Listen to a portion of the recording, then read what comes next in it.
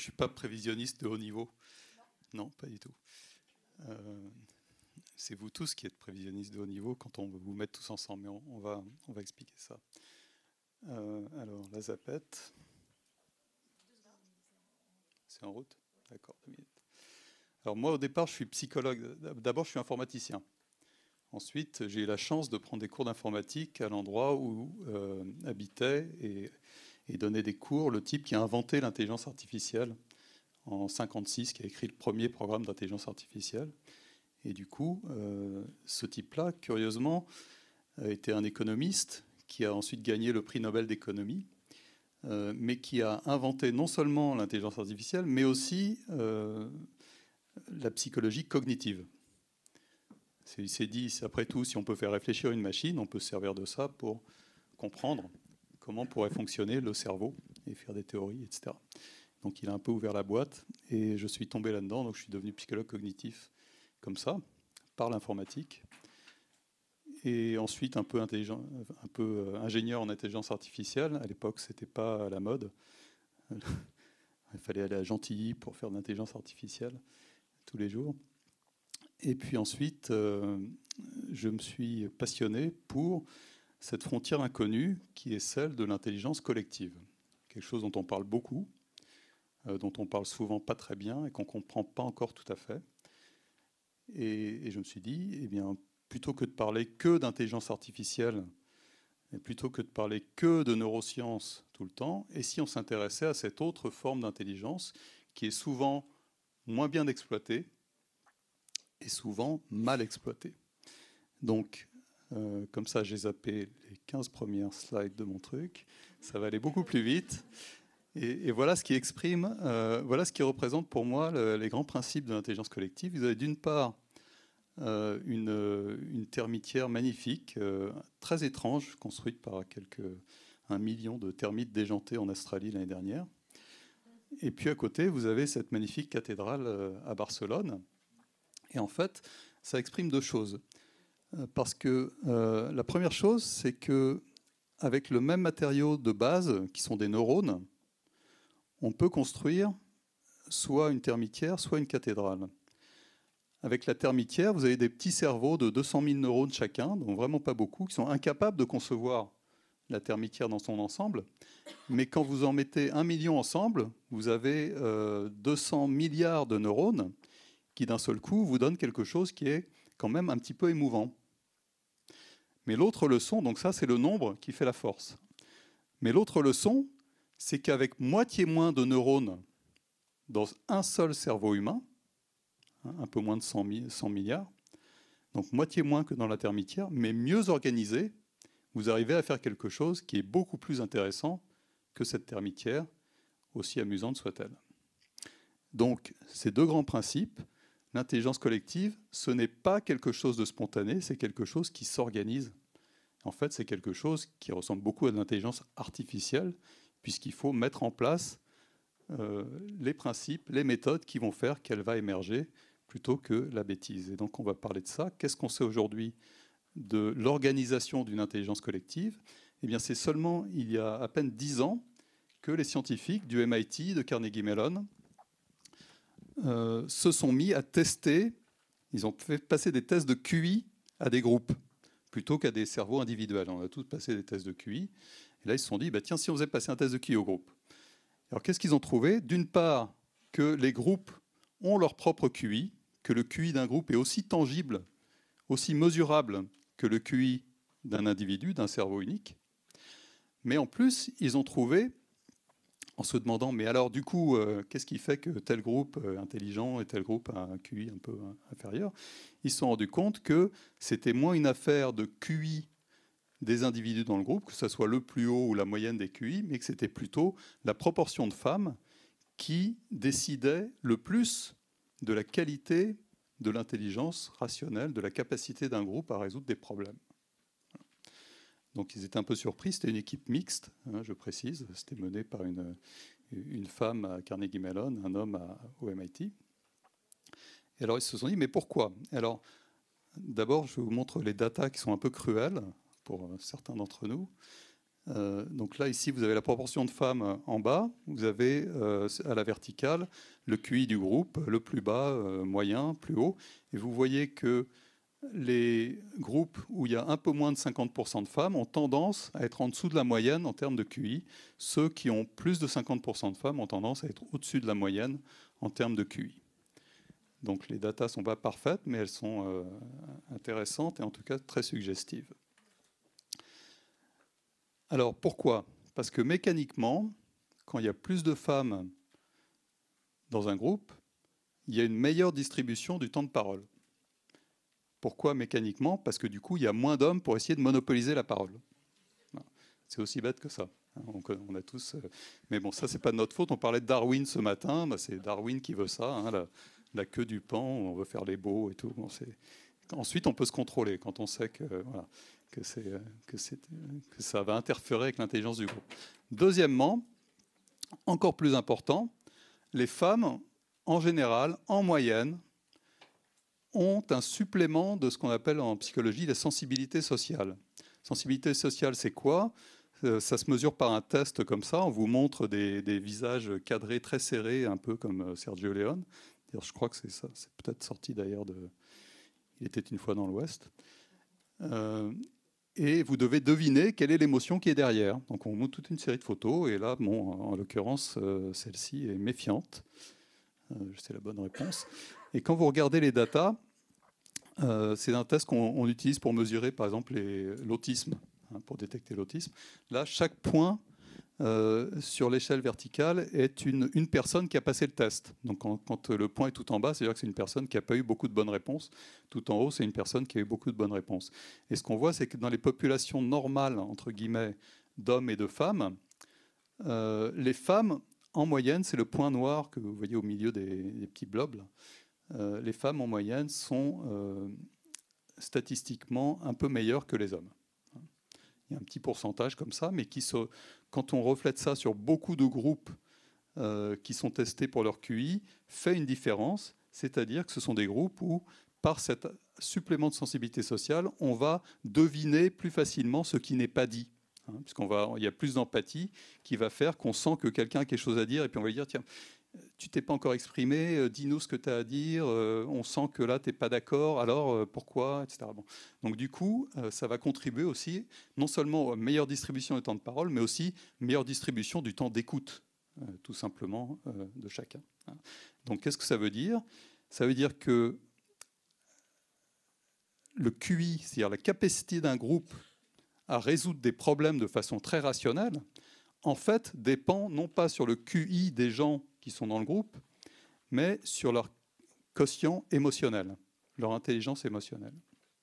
Pourquoi? Parce que le quotient émotionnel augmente, on est, bien placé orange pour en parler, augmente la bande passante entre les individus.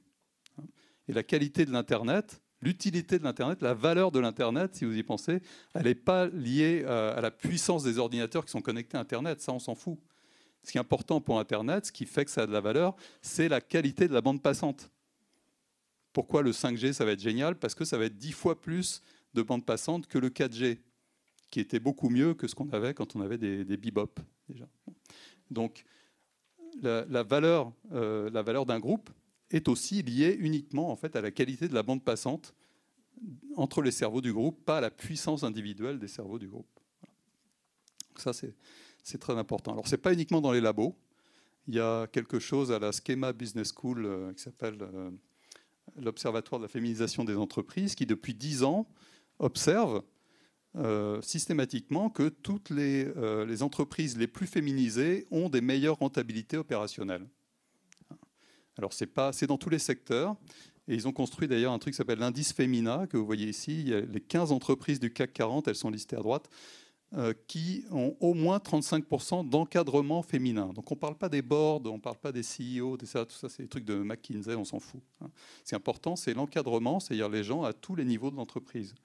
Et donc plus il y a d'encadrement féminin, vous voyez ici dans l'indice féminin, si vous avez investi 1000 euros euh, dans ces entreprises de l'indice féminin euh, en 2006, et eh bien en 2016, dix ans plus tard, vous avez fait plus 60%, alors que si vous aviez investi dans le CAC 40, tout simplement, vous auriez fait moins 4%. Donc ça, c'est très important. Ce n'est pas que dans les labos, ça se reflète dans l'économie réelle. Euh, je pense qu'on en a parlé un peu ce matin. Alors je m'excuse parce qu'il va y avoir beaucoup de, vieux mâles blancs dans, mes photos. Mais bon, c'est l'ancien monde qui se révèle euh, encore.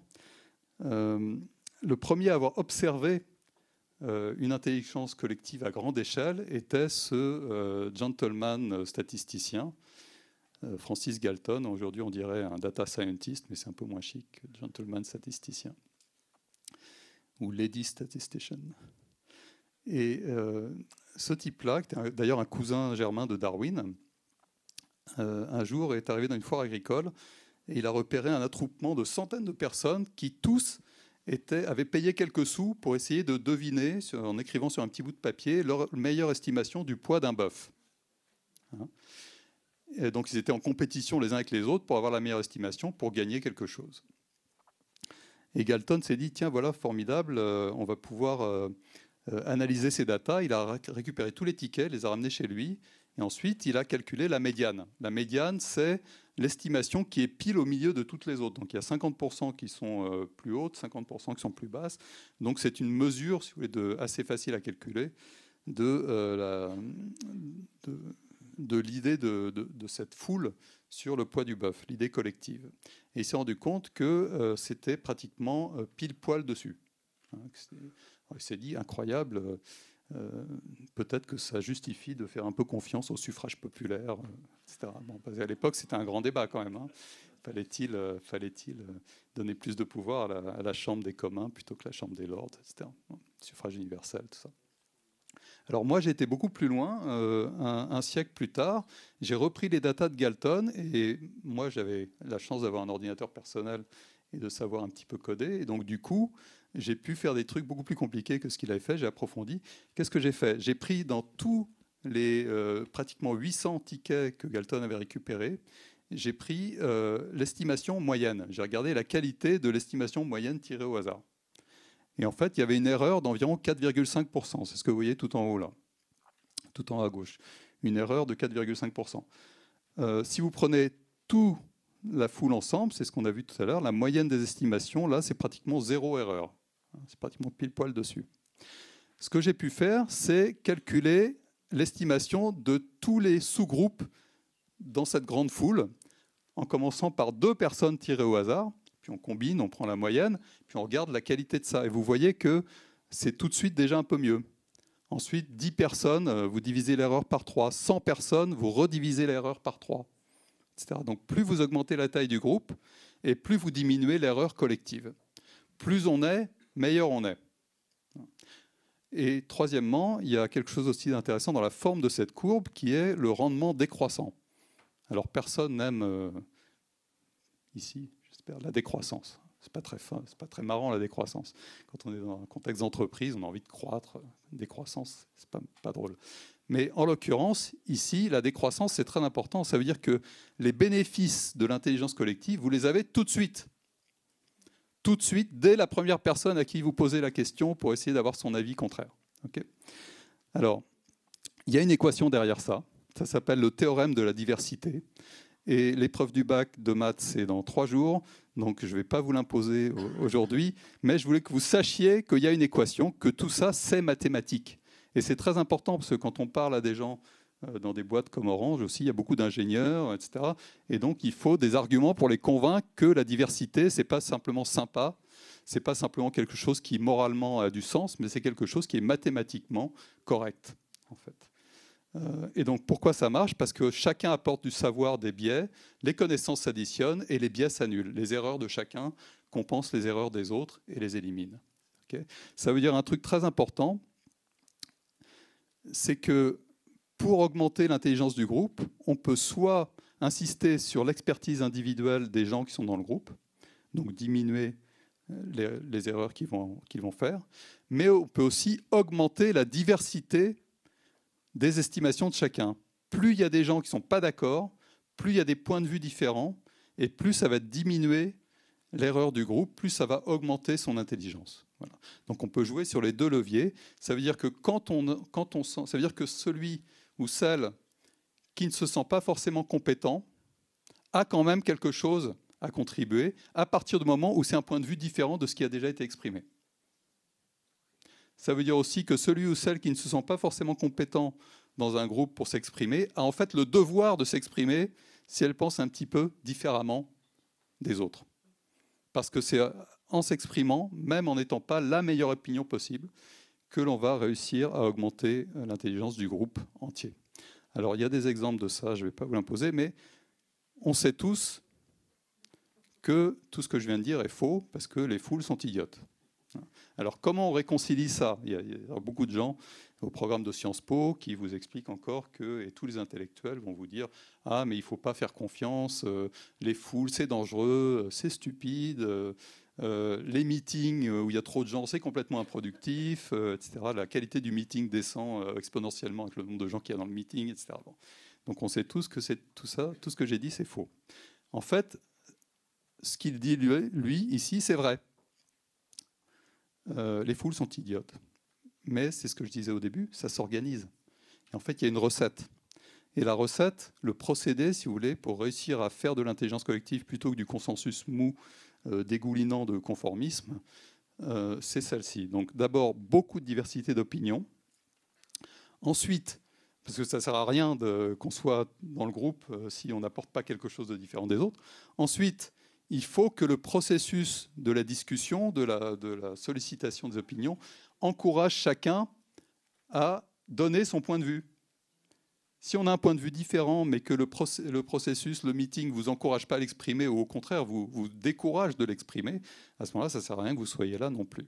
Donc il faut encourager l'indépendance d'esprit. Et après, il faut un mécanisme d'agrégation objectif qui va faire que tout va être pris en compte, pas vers un consensus, le consensus, on s'en fout. Le consensus, c'est souvent mauvais. Mais vers une décision qui soit légitime parce qu'on a euh, fait un vote, parce qu'on a pris une moyenne, parce qu'on a euh, suivi un algorithme qui prend tout ça en compte, etc. Donc c'est comme ça que ça doit marcher. Alors, tout ce que j'ai dit, c'est très important pour le collectif, bien sûr, mais euh, je ne suis pas, moi, dans le collectif sacrificiel. Et je voudrais finir là-dessus le plus important, c'est euh, de s'approprier cette recette de l'intelligence collective pour soi-même, pour devenir soi-même plus intelligent. Donc c'est là où il y a un mind shift important. C'est euh, ce que disait un grand président américain. Il disait, je n'utilise pas seulement tout mon cerveau, mais tous ceux que je peux emprunter. Parce qu'aujourd'hui, il n'y a pas de pilule que vous pouvez prendre pour augmenter votre QI. Il n'y a pas de greffe de cerveau que vous pouvez faire. Il n'y a pas de, cure miracle de, de sudoku euh, pour euh, devenir plus intelligent. La seule chose que vous pouvez faire, mais c'est extrêmement puissant, c'est utiliser les cerveaux des autres à votre profit.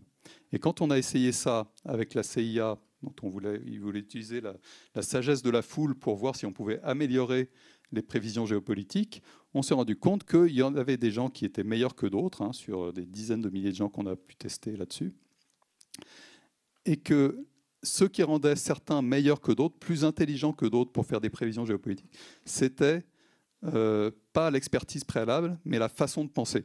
Et cette façon de penser, c'était justement d'aller activement solliciter les opinions qui, a priori, ne seraient pas les mêmes que celles qu'on a déjà au départ. C'est le lecteur du Figaro qui va aller euh, euh, acheter l'IB de temps en temps. Parce que ça a beau être une lecture désagréable, euh, ces gens-là, qui sont des super champions, il n'y en a que 2%, donc dans la salle, il y en a peut-être 4. Hein. Ces gens-là, ils ont cette ouverture d'esprit active, cette capacité à s'enrichir automatiquement, sans que ça leur fasse du mal, des opinions contraires qu'ils peuvent trouver autour d'eux avant de prendre des décisions, avant de se faire leur opinion finale. Et donc, pour conclure, souvenons-nous que le plus important pour devenir intelligent et sage, ce n'est pas de réfléchir tout seul dans son coin, tel le philosophe ou le grand patron euh, dans sa tour d'ivoire, c'est euh, justement d'encourager la diversité et d'utiliser la diversité autour de soi.